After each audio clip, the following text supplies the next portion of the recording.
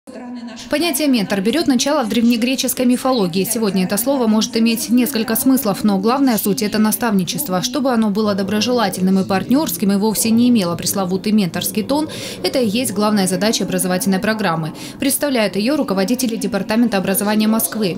Директора столичных школ постараются определить процедуры группового взаимодействия, выявить потребности менторов и представить ожидаемые результаты. Таким образом, смотивировать профессиональный рост руководителя как ресурса развития системы столичного образования. В сессии принимают участие и руководители сочинских инновационных площадок. Инновационная деятельность – это вообще двигатель прогресса и повышения эффективности любой деятельности.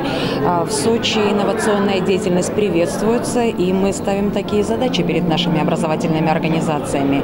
Она возрождается. На сегодняшний день у нас 20 муниципальных инновационных площадок и 10 краевых, причем представлены все виды и типы учреждений. Менторское сопровождение для сочинских дошкольных учреждений дополнительного образования, а также общеобразовательных организаций – новый вид деятельности. Подробно с ним руководители инновационных площадок курорта смогут познакомиться в ходе мастер-классов и круглых столов.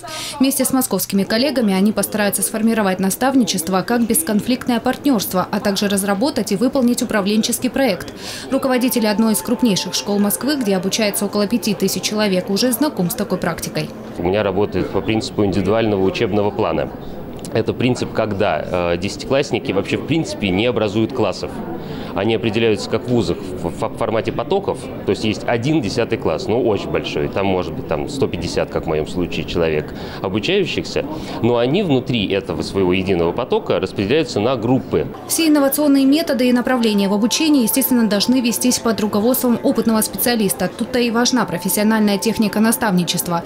Результаты работы стержневых менторов, участников выездной сессии, будут оценены экспертами. Показатели эффективного взаимодействия наставника и стажера станут материалами для презентации программы в Департаменте образования Москвы. Также планируется создание межрегионального сообщества управленческих кадров образовательных организаций столицы и руководителей сочинских инновационных площадок. Татьяна Говоркова, Демид Даниловский, телекомпания «ФКТ».